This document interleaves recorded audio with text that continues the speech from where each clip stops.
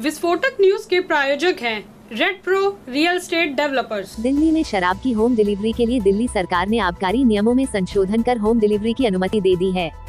सरकार ने मंगलवार को अधिसूचना जारी कर कहा कि जल्द ही दिल्ली वासी मोबाइल ऐप या वेबसाइट के माध्यम से शराब की होम डिलीवरी के लिए ऑर्डर कर सकते हैं। माना जा रहा है कि दिल्ली में सुबह 10 बजे से रात 8 बजे तक ही शराब की होम डिलीवरी लोगों को मिल सकेगी। हालाँकि, दिल्ली में शराब के ठेकों के खुलने का समय रात के 10 बजे तक का है।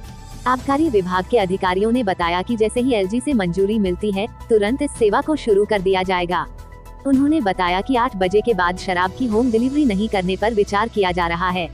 नए नियम के मुताबिक, मोबाइल ऐप या ऑनलाइन वेब पोर्टल के माध्यम से ऑर्डर करके भारतीय शराब या विदेशी शराब की होम डिलीवरी एल तेरह लाइसेंस के ज़रिए की जा सकेगी। हालाँकि अभी ये साफ़ नहीं है कि एल तेरह लाइसेंस किसे और कैसे दिया जाएगा। वैसे दिल्ली सरकार की तरफ़ से जारी नोटिफिकेशन में कहा गया है कि शराब की डिलीवरी किसी भी छात्रावास, कार्यालय या संस्थान में नहीं की जाएगी। यह केवल होम डिलीवरी होगी।